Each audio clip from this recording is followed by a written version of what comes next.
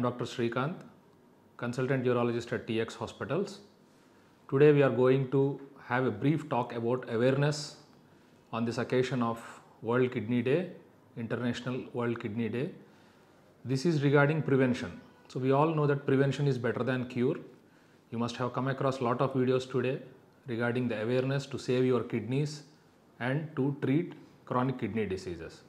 So we are also doing a video to reach most of the patients, most of the population to create awareness. So main things to have a healthy kidneys is to follow four simple steps. First thing is control your diabetes and hypertension. So sugars, you have to keep your HbA1c, which is a chronic check for your sugars of average of last three months, to keep it less than seven, and to control your high BP and high sugars. Okay. The second thing is diet. Coming to the diet, we have two components. The first 50% of the diet control is mainly by salt. So low salt intake, low table salt, less than 5 grams salt intake per day is the main culprit if you take it as a high content for the problems created in the kidneys. And the second half comes the rest all things like high phosphorus diet which is more in the packed foods like chips which we eat, bread, whole grains which are packed these are all containing high phosphorus foods and the colored sodas like color sodas, Coca-Cola, Thums Up these all things. And the other diet habits is non-veg. So non-vegetarian diet will cause more kidney problem who are prone to the kidney diseases. Okay, so low meat, red meat is more dangerous. Okay, and the last thing in the diet is to have more amount of green vegetables and moong dal is very good for kidneys. You can have as a grains and the other grains like rice and wheat are healthy to the kidneys. Okay, and coming to the dairy, low fat milk is very good, whereas a high fat milk and condensed milk and milk powder, which people some people use on regular basis in who are traveling in hotels, milk powder using for coffees, this is dangerous. So this is coming to the diet. Third thing, you know, everybody know this is good water intake. So at least 2.5 to 3 liters of water to keep your urine at least 1 to 1.5 liter output per day is a very good habit and which prevents your kidney for further damages.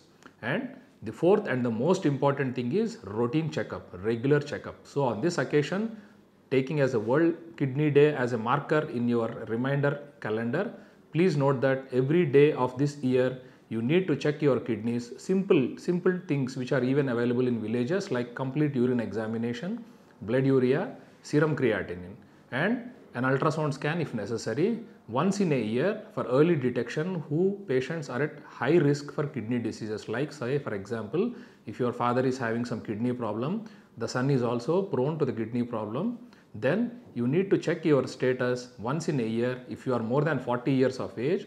And even if you are more than 35 years of age with diabetes or hypertension at least you need to check your kidney status once in a year so lot of laboratories are available even in villages who conduct these tests and we at TX hospitals are providing good health packages at no profit and no loss basis.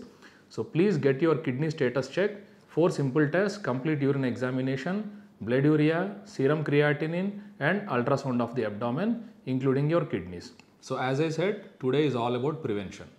So coming to the cure part, say if your kidneys are damaged, say for example if you are having an acute kidney injury by some disease, or a chronic kidney disease which is a continuation of acute kidney injury in some patients or because of comorbidities where your kidneys are damaged unknowingly, there are a lot of treatment options available. It doesn't mean whoever patient went to dialysis should continue dialysis for lifetime. In acute kidney injury, you can come out of the disease if the disease is treated and your kidneys can be reverted back to its normal condition.